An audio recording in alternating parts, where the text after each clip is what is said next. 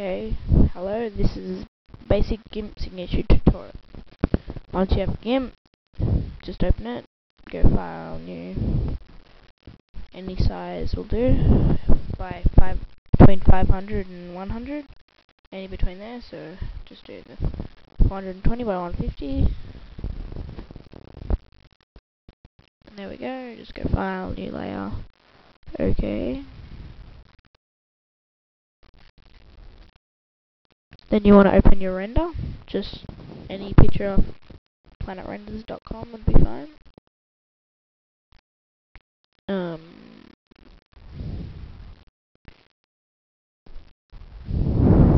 dum.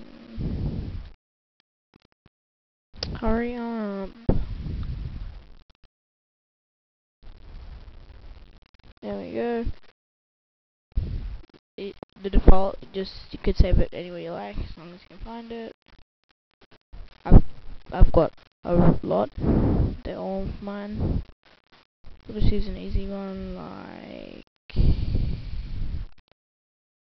um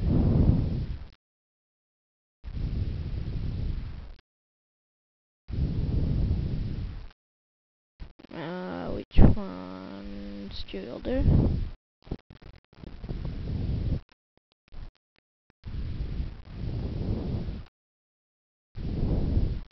Okay, seeing as it's too big, you're gonna want to make it smaller. Go image, scale image.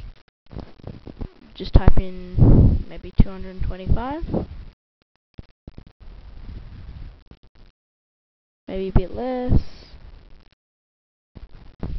200. Okay, and if it gets blurry, just go filters, enhance, sharpen.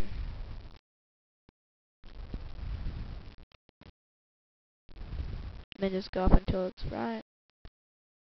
And go right click, edit, copy, edit, paste, get the move tool, move it where you like, press the button on the outside.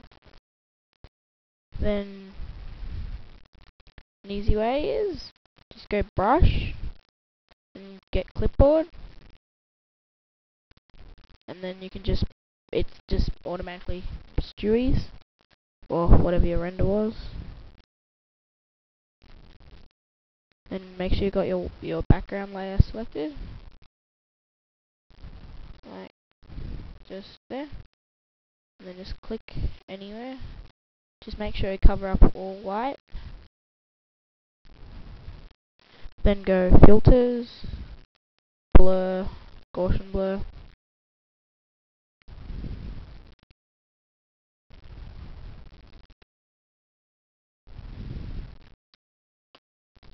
this is taking a while because of my video software.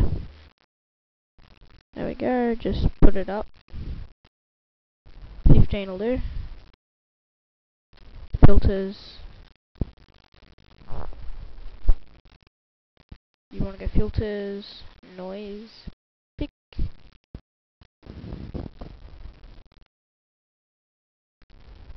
Then you'd want to put it up fairly high.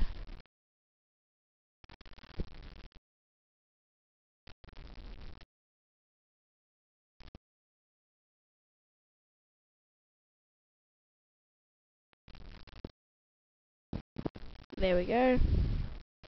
Then you can just go new layer, gradient, just to make it a bit more colourful. And you could put just yellow orange over it. Bam. Set this to overlay. Just to make it look good. Then just add your text.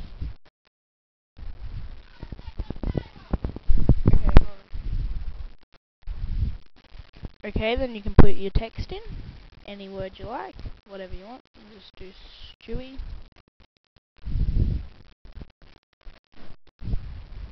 And if you want to move it around, just use the move tool. And you can rotate it.